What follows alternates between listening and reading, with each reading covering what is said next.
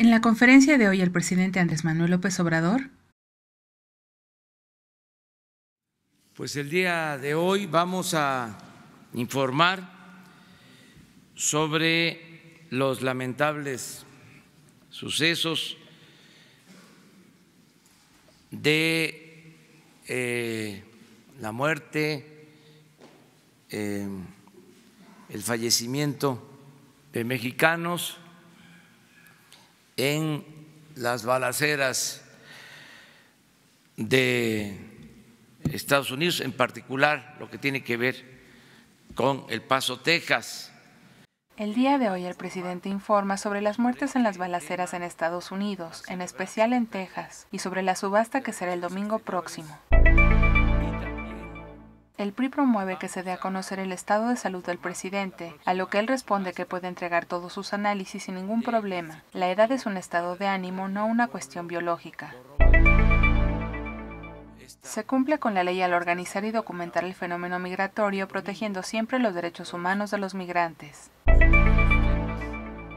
El objetivo del gobierno es combatir la corrupción y la pobreza, que se relacionan entre sí porque la corrupción es la causa de la desigualdad económica en México. Los que se resisten al cambio han generado su riqueza ilegítima con negocios al amparo del poder público, y es por esto la feroz resistencia de los grupos de intereses creados a los cambios que lleva a cabo el gobierno de la Cuarta Transformación en México.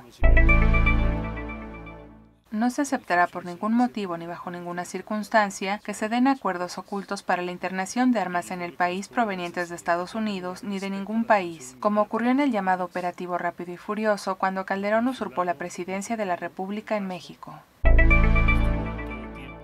Menciona que continúa el reforma y los voceros de los conservadores con calumnias, reitera su combate a la corrupción y afirma que son falsas las publicaciones de los supuestos negocios y de los gastos en alimentos publicados el día de ayer.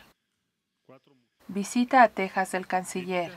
Se atiende puntualmente a los familiares de las víctimas por el Consulado de México. Se confirma el fallecimiento de ocho mexicanos en los hechos ocurridos en Texas. Hay seis personas más heridas, tres de ellas en estado crítico y tres fuera de riesgo. Se dieron de alta dos personas. Se entregaron los cuerpos de las personas fallecidas el día de ayer. Fueron hechos trágicos y la tragedia es grande en contra de la comunidad mexicana en Estados Unidos, que agredió a hombres, mujeres, ancianos y niños de forma indiscriminada. El gobierno de México rechaza y condena estos hechos se busca que la Fiscalía General de la República tenga acceso a las investigaciones que se realicen en Estados Unidos para garantizar que se haga justicia. Se investiga si existen más elementos con las mismas ideas en contra de mexicanos y si el manifiesto publicado por este individuo realmente lo escribió él. El tema del arma que fue utilizada en los hechos también es objeto de investigación. Es un tema muy importante la venta de armas y su internación al país que está relacionado directamente con la violencia y crimen organizado en México. Se controlarán los accesos fronterizos en el norte del país para evitar la internación de armas provenientes de Estados Unidos, con un control coordinado con las autoridades de ese país.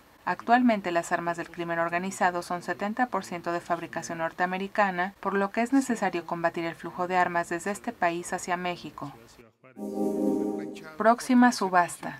Se realizará una nueva subasta en el Centro Cultural Los Pinos. Se subastará la mansión estilo francés ubicada en las lomas de Chapultepec, que fuera de Shenley-Yegón. Es una casa muy lujosa en un terreno de 1.200 metros cuadrados de cuatro niveles. Cuenta con elevador, planta eléctrica independiente y cuenta con alberca. Adicional a esta casa serán subastados 25 inmuebles más. El monto inicial del total de la subasta son 225 millones de pesos. Los recursos serán destinados a becas para los atletas de alto rendimiento que participan en los Juegos Panamericanos y que han tenido una participación destacada. 240 mil pesos se les entregará de manera adicional a las becas que ya reciben de manera directa a cada uno de los 544 deportistas que han participado en los Juegos Panamericanos realizados en Perú y se les dará un estímulo adicional a los que obtuvieron medalla, por lo que el presidente Andrés Manuel López Obrador hace un llamado a empresarios con dimensión social e inversionistas para participar en la próxima subasta. Se contempla el apoyo a los entrenadores y también a los deportistas paraolímpicos. Todo esto con el propósito de apoyar al deporte de alto rendimiento y al deporte en general promoviéndolo como medicina deportiva. Los apoyos del gobierno se darán de manera directa para evitar la corrupción, como ya se realiza en el campo, con los adultos mayores, con los jóvenes, con la construcción de caminos rurales y ahora con el presupuesto para el mantenimiento de escuelas. Acuerdos mineros. Buscando un acuerdo de mineros con eh, trabajadores de las empresas mineras y desde luego con ambientalistas, se busca un acuerdo minero entre trabajadores y dueños, también con ambientalistas para establecer una mesa de diálogo que permita tener un acuerdo conjunto. Para esto se requiere de la conciliación, en especial para las zonas mineras como Sonora y Tasco. Los acuerdos tienen que ser priorizando siempre el tema ambiental, porque es importante el tema de empleos, pero es más importante no destruir la naturaleza. Ahora ya pagan impuestos las mineras por su extracción, no se cancelará ningún contrato y se cuidarán los empleos de este sector crisis mundial. Hay estas diferencias, estas disputas en lo arancelario, en lo comercial, entre las dos grandes economías, Estados Unidos y China. El presidente hace un llamado al diálogo entre Estados Unidos y China para evitar la guerra comercial entre ambas naciones que afectan a la economía mundial. Los aranceles impuestos por Estados Unidos a China provocaron desde el jueves pasado un nerviosismo en los mercados que han afectado el tipo de cambio del peso frente al dólar, y a pesar de esto la economía mexicana resiste y sigue siendo una de las principales monedas que muestran fortaleza frente al dólar al lado del yen japonés reitera el llamado al diálogo de estas dos naciones que por su importancia mundial tienen una repercusión negativa en todo el mundo. Será satisfactorio para la economía de México que se apruebe el TEMEC, que se estima se ratificará pronto. Relación con Trump. Nosotros queremos mantener una muy buena relación con el gobierno de Estados Unidos y al mismo tiempo eh,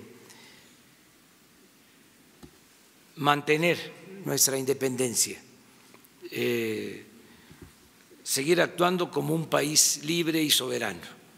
La actitud del gobierno del presidente ha sido muy prudente y privilegiando siempre el diálogo con la difícil actitud del gobierno de Estados Unidos. Sin embargo, reportero propone ser más firme con la relación bilateral con Estados Unidos. El presidente responde que será todo lo conciliador posible y todo lo firme que sea necesario, siempre defendiendo la soberanía de México. Es una relación histórica y muy importante. El gobierno piensa y promueve el no utilizar medidas coercitivas y no fomentar el odio entre los pueblos, pero el gobierno de México no tendrá injerencia en procesos internos de los distintos países en el mundo. Nos vemos mañana.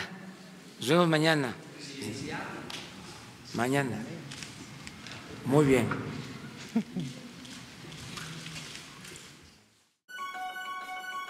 Ya estás informado. No olvides darle like a este video, comparte y suscríbete a Escucha Diario. La conferencia del presidente Andrés Manuel López Obrador en 5 minutos o menos.